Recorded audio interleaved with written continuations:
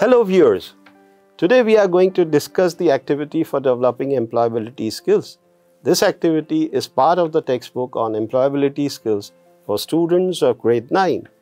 In this video, we will cover the first activity of session 8 that is talking about self for unit 1 on communication skills.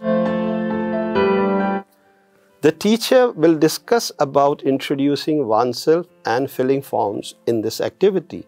The teacher has to form groups of at least two students in the classroom. After forming the groups, the teacher should ask the students to introduce themselves to their partners and also give the details necessary to fill a form which the other student would be doing it. The form may include, but not limited to the following name, date of birth, address, PIN code, hobbies, and finally the signature.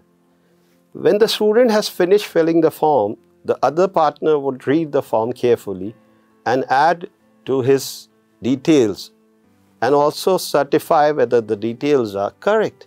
Repeat this process for other partner as well. The teacher should also discuss with students what they have learned from this activity, that is, the learning outcomes. So enjoy organizing this activity in the classroom or in the field and thank you very much for watching this video.